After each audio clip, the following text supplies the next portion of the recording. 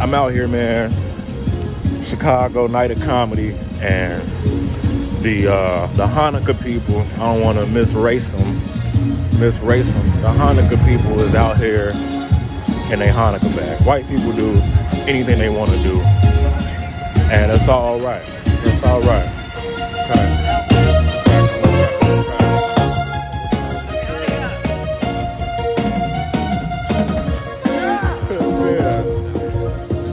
people doing any fucking thing they want to do. And I don't understand it. I don't understand it. I don't. I don't understand it, but here we are. What's cracking? What's cracking? Lord Dave, Dave Bradley, Corner Classic shit. We here. Uh, I got a show tonight. Last minute show. Didn't know about it. Got reached out to by my homie Kadeem. He like, yo, you trying to do the show? Somebody backed out. Like, fuck it, I slide. So getting ready to go do this show at My Buddy's here in Chicago. It's a nice spot. Been doing shit there for a minute, so it's always fun doing shows at My Buddy's. So uh, just take y'all through this process, man. Trying to do new material, working on new shit. Uh, got tired of doing some of the jokes I was doing. I'm like, I want to just work on brand new shit, explore new ideas, and, and write new material and and working it out. It's like the most anxiety inducing, exciting, most amazing shit in the world. So it's a headache, but it's shit that come with it, right? What you gonna do? So let's now go. You can be the fake king or you can be the real king. By heavy is the head. So my hair looks insane. Uh, before a show start, I like to, you know what I'm saying, go over my jokes and things and just things that I've been writing and things that I've been journaling, you know, to see where my head is and, and, and get it clear. Uh, in the shower, when I take my shower before shows, uh, pray. You know what I'm saying? You got to pray sometimes. Praying shit. Like, yo, just need a little patience. You know what I'm saying? Give me a little, give me a little extra talent tonight. You know what I'm saying? Give me a little extra courage, a little extra wit. You know, you gotta ask for these things because you just never know when you might need to pull some shit out the tube. Though. So, yeah, before a show, pray, eat, go over my jokes, smoke a little weed sometimes, sometimes, most of the time. Uh, you know, but we do what we do. So, about to head to the show. Let's go.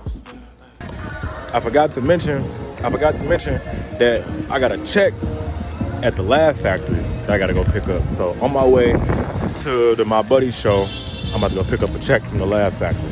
And that's some important shit.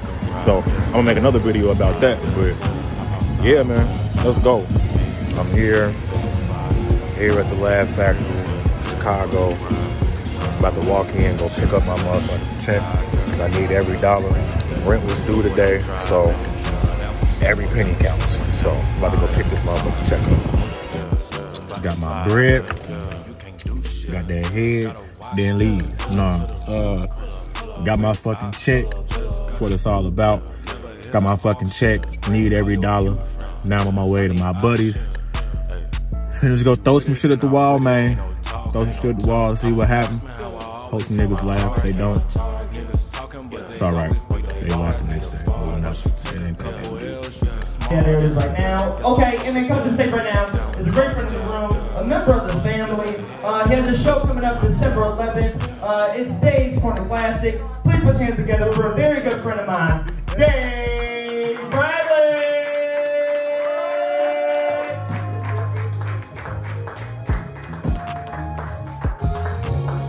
You know, sit up there. Like I said, this whole shit is gonna be about white people. I'm sorry. Um, I was at Dunkin' Donuts and shit, right? And I know normally is Indian people there, but sometimes it's white people there. Um, I gotta cut my mic out when I start saying this shit. I was right there, Shut that nigga up. Shut that nigga up. Shut that nigga up. I was there looking for that damn mute button. It's, you know, because we know he gonna say something today. Yeah, another uh, homeless situation. I was at a red light. I'm around a lot of homeless people. I'm not homeless. This is just. It's just, it's just how things have been going lately. That's told y'all was due today. Uh, for the third month straight. I, uh, I pulled to a red light, and this homeless white lady, she came up to my car with like these light up balloons and shit, right? She had like 20 light up balloons in her arm. And I'm like, all right. So she come and she knock on my window, and she like, yo, you wanna buy some balloons? I'm like, bitch, I'm trying to watch porn on my phone. Could you not? Could you not right now? This is not a good time. Uh, and what the fuck are you celebrating? Why, why you got so many balloons in the first place? You don't find that suspicious? Just finished the show, man. She was cool, bro. I always love and enjoy doing shows here at My Buddy's in Chicago. It's just a cool spot. To just have fun, work out, try some shit out, dump some shit at the wall, just see what the fuck happens. You know what I'm saying? So that's what I did.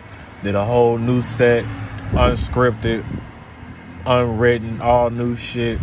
Just trying shit, having a good time, man. That's that's what the fuck it's about. Sometimes sometimes you get too you know, you get too wrapped up and consumed in, in whatever, you know, image and brand and all this shit and you don't be really trying new shit sometimes. So I'm like, nah, fuck that. I got tired of doing the same shit. I just been challenging myself to do new shit, more shit, and having fun, man. Sometimes we get too we get too wrapped up in it, we forget to have fun. So that's the fuck I did, man. So another good show on the books, man. Peace out.